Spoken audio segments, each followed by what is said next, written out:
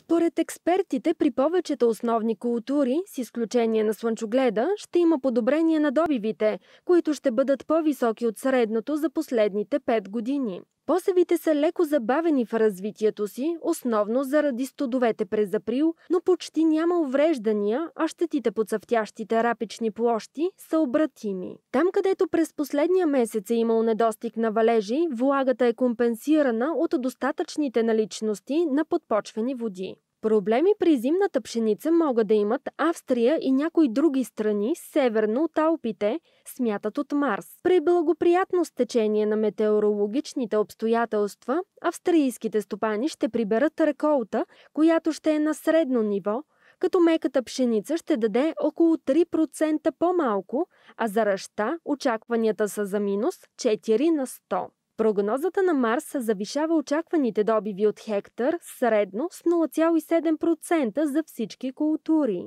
За пшеницата се дава плюс от 1 на 100, зимният ечемик е оценен на плюс 5%, добивите от ръж ще се подобрят с 6, а тези от рапица с малко над 5 на 100 спрямо средното за последните 5 години. Минус 3% има при слънчогледа.